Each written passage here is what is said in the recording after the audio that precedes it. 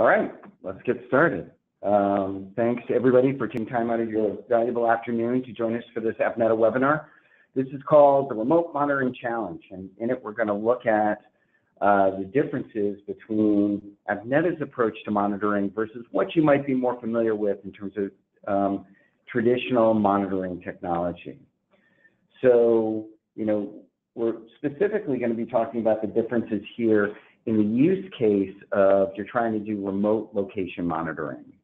Um, so maybe start with some definitions. What do we mean by traditional technology? In this case, you know, we call this device-centric data. This is data that you would typically pull for monitoring purposes using technologies such as NetFlow or SNMP. And just to complete the definitions, what do we mean by remote locations? Well, we consider it any company location that doesn't have its own data center that connects to a data center or cloud over any network, LAN, WAN, public, public internet, Wi-Fi, whatever it is. Most importantly, it's anywhere IT isn't that IT still needs to support.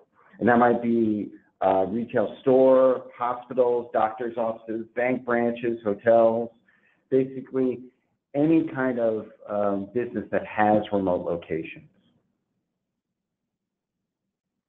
So, but before we get into it, some introductions are in order. My name is Damon Roskill, and I'm the Chief Marketing Officer here at AppNeta. I'm joined by Alec from our product marketing team. Say hi, Alec. Hi. And we've got Christine helping us out with the webinar logistics and queuing up your questions. In terms of an agenda, here's what we'll be covering. Uh, we're going to have, first, we're going to talk a little bit about remote monitoring as uh, sort of what are the general challenges associated with it. Then I'm going to walk through an example of sort of what it would be like to troubleshoot it using these traditional technologies. Then I'm going to pass it to Alec, and he's going to walk through uh, some of the differences between AppNeta and those traditional technologies, our differences in approach. And then finally, we're going to finish it up by looking at how we would troubleshoot that same situation, um, but using AppNeta technology. Some logistics. Today's webinar is being recorded.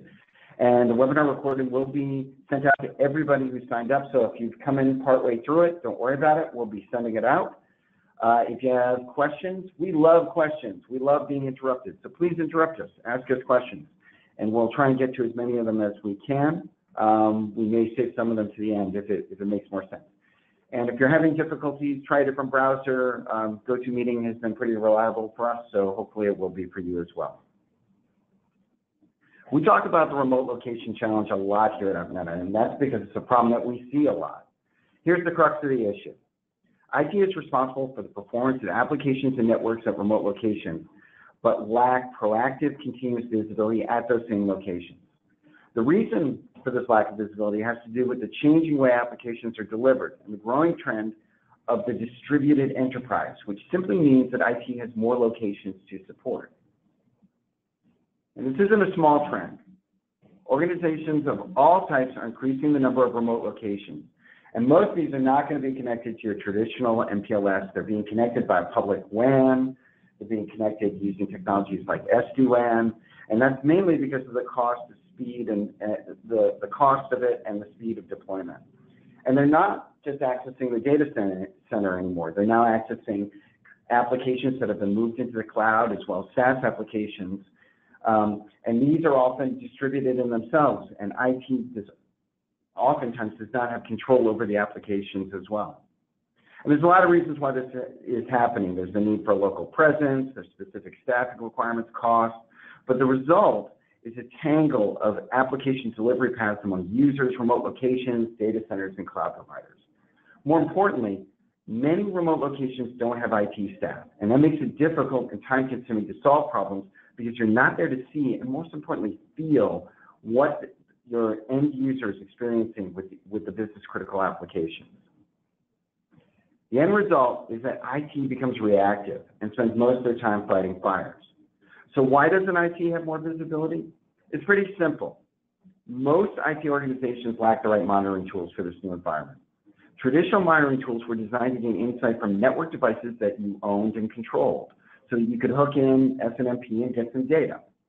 But in this world, you don't have you don't own the infrastructure, and thus you don't have any data to pull. How do you monitor using traditional monitoring products the performance of a web app that takes into account both the application and the network performance. So let's look at how you would troubleshoot an issue at a remote location using traditional tools.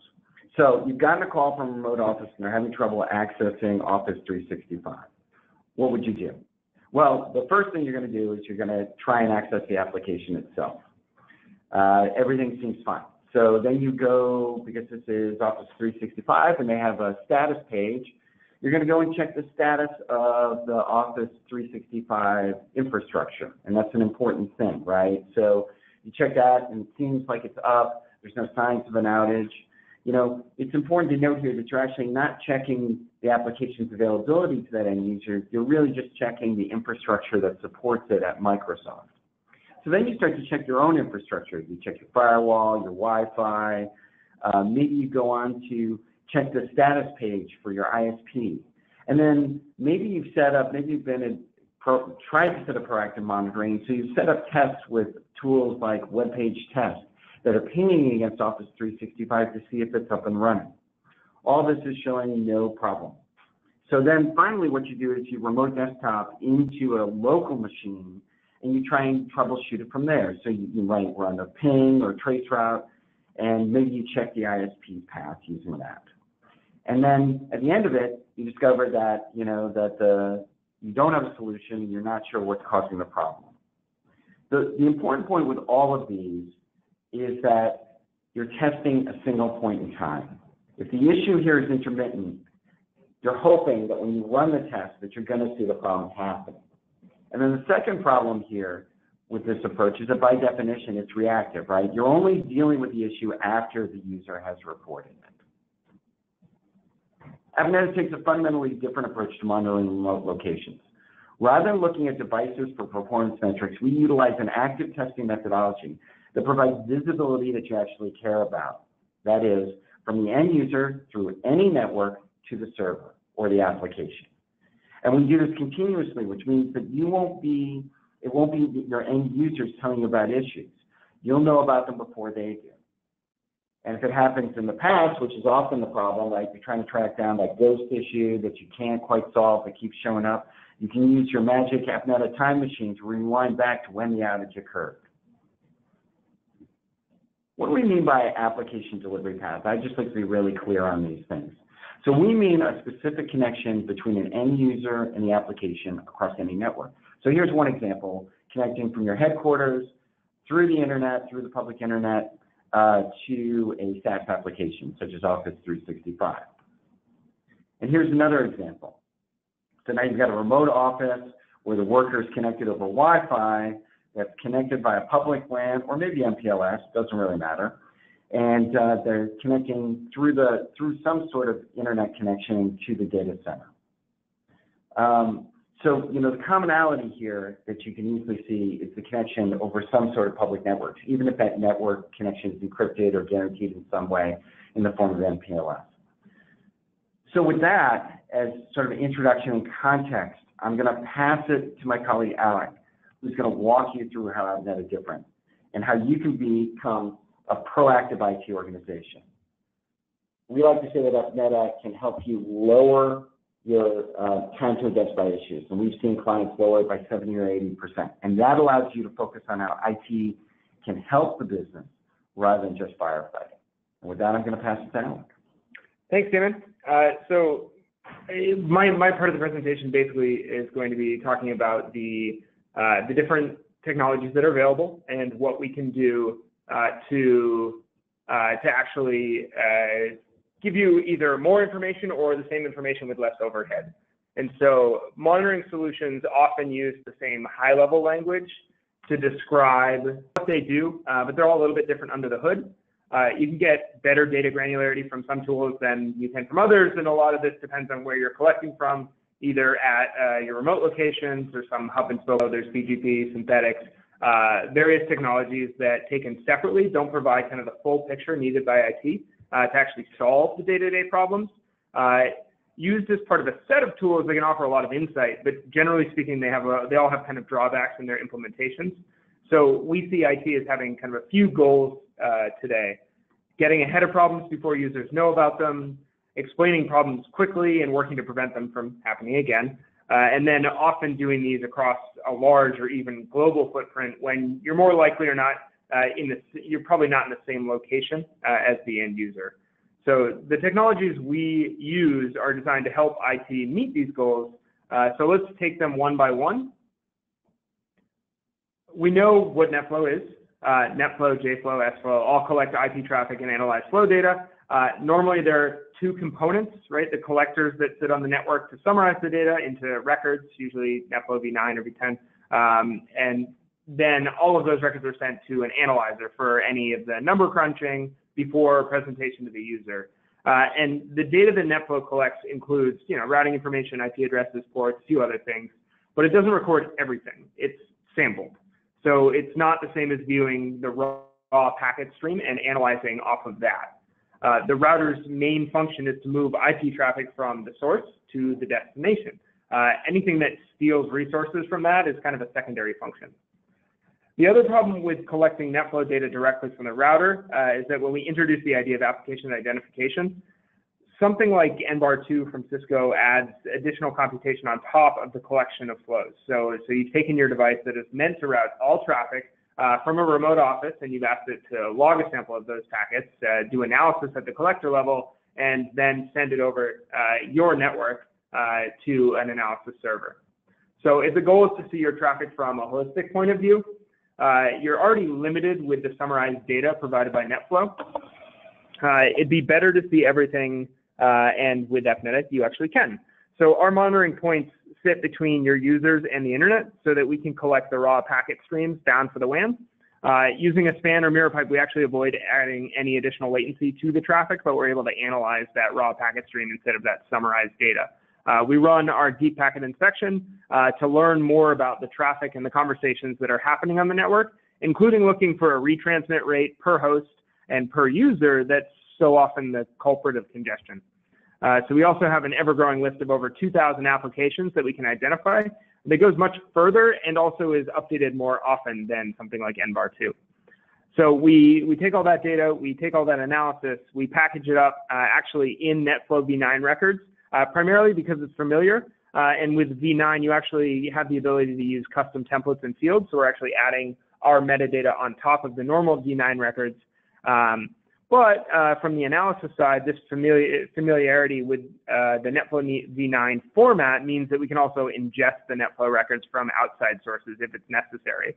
Uh, I'll note that we don't actually recommend relying only on that method. Uh, it can be great supplemental data, but at the same time, if you're working with the NetFlow records, you're working with sampled data uh, instead of the packet stream, uh, and then you're actually not getting all the additional analysis that we can provide with our DPI engine. Uh, so to actually illustrate that, um, before we move on to some of the next technologies, I'll dive into the live demo environment uh, and kind of show a little bit of this right now. Uh, so I'll be jumping into application usage. for remote locations, the, you know, the most important troubleshooting tool that you have is really being able to segment the data. Uh, and that's by location or by the application, by the user. Uh, so the first thing we're usually showing people is showing by location data. And I'll just switch around. So we have all of the Boston traffic and all of the uh, traffic that's coming through here, all of the different apps that we can identify. Uh, there are things like SSL where we're not going to be able to peek inside that, but we can actually uh, stitch together some of these apps based on the destination and based on the style of traffic. So uh, you know, we can identify something like YouTube based on the fact that it's probably going to be UDP traffic going to a set of IP addresses. And so if I want to look at something, uh, let's see, I want uh, to look at something like uh, Salesforce plugins. I can actually see this. I can see the contribution of that uh, traffic per uh, location, and I can dive into the location itself.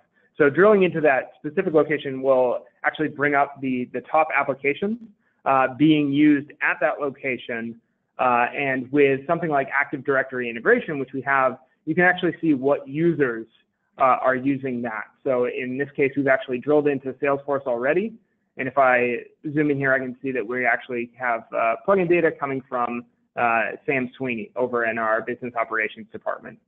Uh, so by, by kind of segmenting and kind of cross-sectioning the data, we can actually get to uh, things like the, the flows per second, the packets that are actually being sent from a user, uh, and really most importantly in this view, the retransmit rate. Right? If it's something like an application traffic, retransmits is probably going to be your leading indicator for congestion.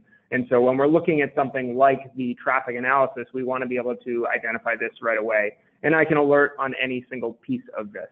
Uh, so kind of for all those reasons of just bringing in all the apps, the users, bringing in the retransmit rates, and, and doing this for all of your data, not just sampled data from every location that you have and segmenting it that, uh, we go way beyond kind of the traditional NetFlow setup.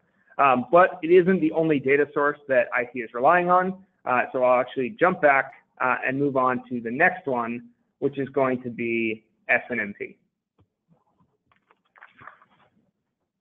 So again, we run into a kind of a familiar protocol uh, designed for collecting metrics from devices and configuring them remotely. Uh, the trouble with monitoring via SNMP is twofold. Uh, first, you can only get SNMP information from devices you own. Uh, it's also a management protocol, so it'd be kind of foolish for SaaS vendors or ISPs to allow SNMP collection from external parties. Uh, secondly, the method with which you get data from SNMP is passive uh, and ultimately slow. Uh, to ensure that you don't negatively affect the performance of the device, SNMP is generally polled at 15-minute intervals. Uh, while some metrics don't necessarily need to be collected faster, when considering the data storage required that you actually have to uh, store the data that you collect, uh, it does mean that device failure or degraded performance or any other type of indication uh, outside of SNMP traps uh, can be delayed uh, up to 15 minutes. Now, traps can obviously fill some of that gap, but you have to set it up. You have to configure the trap to actually tell you when something's going down. And at scale, that can be very difficult. So with SNMP, IT can map their internal network and get a good idea of where device-related issues are occurring in, you know, a large corporate network. However, if a user calls complaining of a slow SaaS apps, like how does SNMP actually help there? Uh, we can locate where the user is in the network topology and look at the path to the closest ISP egress. But if there are no issues along that path, then SNMP is actually a bit beyond its depth. And, and most importantly is that for, for monitoring infrastructure availability, SNMP can be invaluable. I, I'm not arguing that. But for monitoring end user experience, SNMP requires institutional knowledge and fundamentally misses most of the application delivery path between a user and something like a SaaS app or anything, uh, especially when you're talking about remote locations. So to illustrate the reach of SNMP, we can see that on the left of this chart, uh, that the kind of the office portion of the application delivery path is something that IT has direct access to, and therefore SNMP data can be gathered on things like the user's laptop computer, Wi-Fi access points, uh, routers, and the firewall. Uh, this chart is actually based on the key performance metrics that can be monitored via the technology on each of the rows.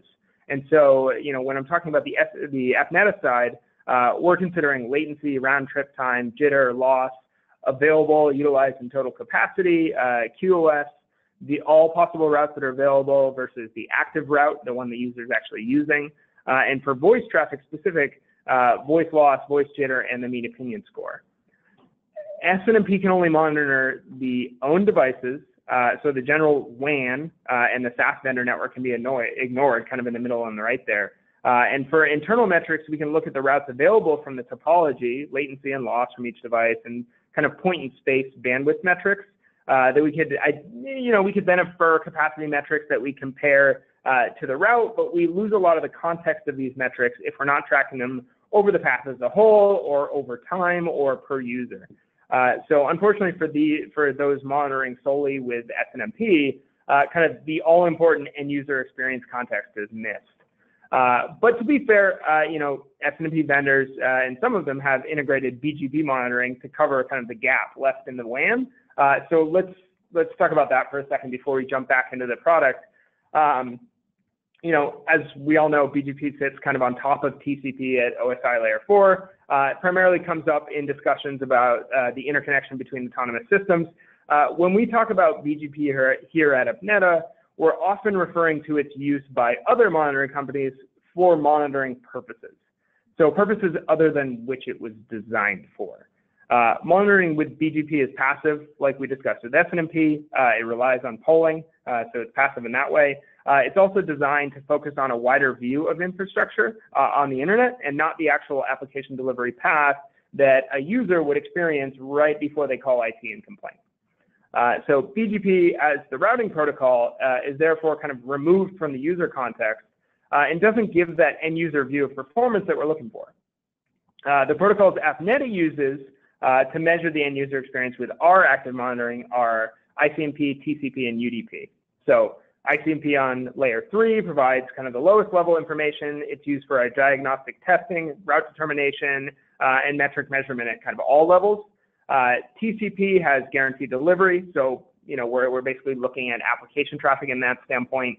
Uh, and by sending dispersed packet trains, AppNeta can determine if the application delivery path has actually altered the packets in order, uh, exhibits pa packet delay variation, uh, packets are lost, uh, and that basically jumbles into metrics like jitter, loss, latency, and TCP retransmits uh, across all of your locations.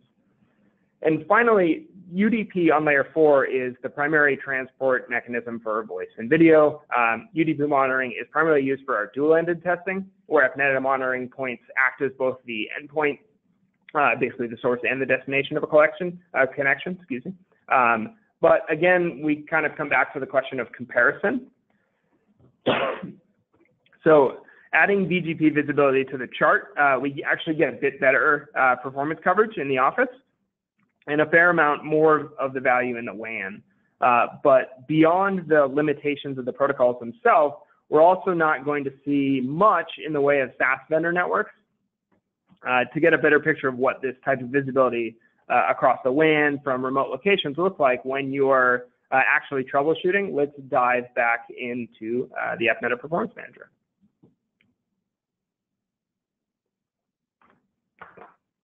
So the first thing I'll show you is just uh, the path list. Uh, we can uh, segment these by what you're actually trying to look at for traffic. Um, Damon was mentioning Office 365, so I'll actually start with that. Uh, and I've actually opened up one of the paths already uh, and added a little bit more data to it by putting it out to a day here. Uh, so the first thing you're going to see is basically our TCP, UDP, and ICMP route, and that's basically going to tell us when traffic actually moves.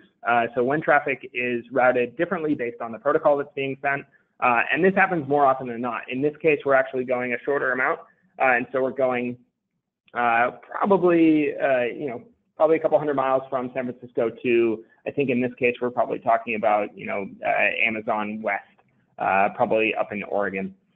So if I'm looking down at something like the capacity, capacity is one of the biggest things that we talk about at AppNeta because capacity is going to give you the best idea of what your application will actually experience across uh, the kind of source to destination between the user and a SaaS app because it's going to show you the bottlenecks. It's going to show you the lowest level that's possible. So even if you're paying for 250 megabits per second outside the office, you're probably not getting that all the way to the SaaS app. I think that's something that people often confuse is the concept of bandwidth and capacity, right? So bandwidth is what you've actually paid for and the total size of the pipe and capacity is from my end user through the network to a specific endpoint.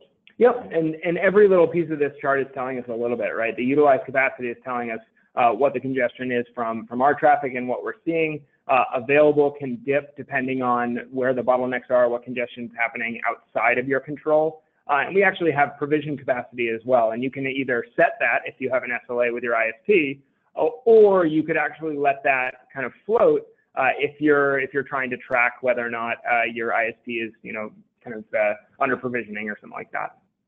Um, but what's what's great about this uh, this part of the product is that we can we can start diving in and find things like data loss and find uh, different correlations between you know capacity, which is probably a leading indicator. Uh, data loss, you can see this one has actually got a lot of maximums in this darker orange line that are well above what you'd expect for for you know a regular connection. And so what what happens with our our kind of delivery side is that if any of these uh, thresholds are violated, these black lines, uh, we'll actually run a diagnostic. We'll automatically up the number of packets that we're sending over the line. Remember, we are active. We're sending packets every minute. We'll increase those numbers to confirm the issue. And if we can confirm that, yes, data loss is indeed uh, an issue right here, we'll actually kick off a diagnostic. And that diagnostic will then run um, a secondary test to all the different hops along the way. And I can actually look at the details um, uh, all the way across the line. So I can look at every hop and look at the loss, the capacity the utilization. I can see if MTU drops. I can see uh, anything with latency issues. Uh, and I can actually go in and see more information from our Apex engine that will start doing a diagnostic and tell us with a confidence score uh, what could actually be happening on the line. And so that's actually getting me to uh, the root cause of an issue instead of just giving me a couple metrics to decipher. Uh, and so that's where delivery really has a lot of the uh, the kind of power uh, that other people are missing because we're actually able to dive from you know just a path that was created to Office 365 all the way to find out uh, what's happening along that path. So with that, I'll actually uh, jump back in. We'll go into uh, kind of uh, one of our last pieces here, which is synthetic monitoring. So it's last on our list, but it is key to tracking end user experience because it is actually a synthetic user. So rudimentary synthetic monitoring may do availability checks um, uh, to see whether an app is up or down by using kind of HTTP status codes. Uh, but uh, these fail because IT teams target the homepage of a company uh, instead of the login page of the app. And the login page is actually a poor substitute for a script that actually logs into the app, loads data like a user would, and you know kind of clicks around and generally uses the application. So the other piece here is that apps rarely go down today. So availability isn't what we should be monitoring anymore. Uh, you know, in the early days of SaaS, under, under provisioning could occur, but auto scaling through AWS and uh, all the other cloud providers has alleviated much of that. And app slowdowns uh, are often much more complex uh, today than they were before when something broke and something just went down. Um, so better, more developed synthetic monitoring like AppNeta's can actually simulate user interactions and get a real sense of what uh, the users see at any location, so from any location through any app. Uh, and we made better milestones on top of our synthetics so we can see logical transitions from the user experience rather than just the page transitions of clicking and finding a new page.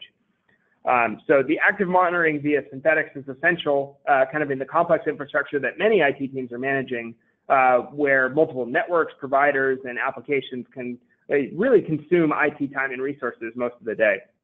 Uh, and synthetic monitoring is a big help for troubleshooting in these cases uh, since it shows IT kind of the historical context of the performance of an app.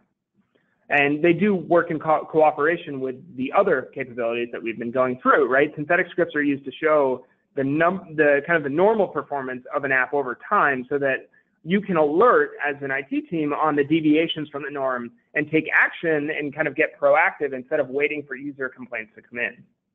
And you know, taking action typically uh, requires more information. So AppNeta is going to provide you with that network context, and uh, if you have the the uh, the usage uh, installed at a remote office, it will even tell you what that user was doing at the same time. So correlating correlating kind of the route, the app, the end user uh, at the time of the incident is crucial to understanding the root cause. Uh, and so to understand that, let's jump back into the product.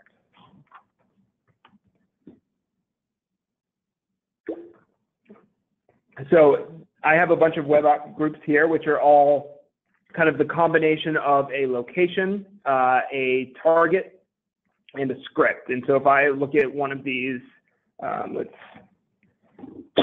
excuse me, let's configure this so I can see that I'm monitoring from Boston and Vancouver, our two offices, uh, to Microsoft Online with a login, and I'm actually running a Selenium script. If I want to see that script, I can jump in, I can see I'm bringing the Selenium source, and then parsing it into this table view. And then I'm adding these milestones um, that are basically going to show me uh, when things are either clicked or when things are moved around. And the milestones are really important because we've got these single, this concept now of single page apps, right? Like Gmail is a great example of that, where there aren't page transitions. Right. We also have actually a user question here, Alex. Mhm. Um, What is this, what if there's already a Selenium script running? How do, how does AppNeta handle that? Meaning if we already own one, if it's already created, Mhm. you can port it over in most cases Yep. and run it right in our, Mm. right in our appliances. Yes, yeah. Okay. Yeah, so basically the Selenium that we use is Selenium. Uh, we actually take advantage of the comments to run our milestones. We have a comment syntax that will allow us to add milestones. So when you use an AppNeta script outside of AppNeta, it will still run because it will just see it as comments. But in our system, it will read those comments as milestones and actually add something on top of the Selenium script. Uh, so both ways, Selenium either way. Um, so to, let's let's dive into one of these just to get a little bit more uh, and see what we can actually find from these Selenium scripts. So if I'm looking at Selenium script, I'm looking at basically the network transport timing, the server-side response, and the browser rendering of the objects on the page uh, through uh, this network server and browser chart. I can actually break down um, by milestone, and this one actually looks like the milestone failed, so I want to find out what happened there. I can see that I never uh, got to the admin page, so I can figure out what happened in my script or what happened in the test. Um, but I can also dive down to a waterfall chart. So if you use Chrome Inspector um, or uh, Firefox Inspect, you're going to see a lot of what's going on. So here I can see I've got a snapshot. I can see that uh, it looks like the page loaded fine, but maybe there was a, an issue after uh, after this part. I can see the page load timings of all the different pieces. I can see it from uh, per milestone basis. So here I can just you know click and it will auto sort to this uh, this part of the milestone or this single milestone and show me the uh, kind of the waterfall chart. But it'll show me the resource timing, domain, uh, content, and performance issues as well. and so what's what's great about this uh, part of the product is that we can actually do this from behind the firewall with our, our basically our our devices, either virtual or physical, or we can do it from our global monitoring points. And so being able to put one of these at a remote location so that you're actually uh, triggering uh, a synthetic script from uh, a place where your users actually are. And with our small office appliance, you can even do it over Wi-Fi to get even closer to what the user would actually see.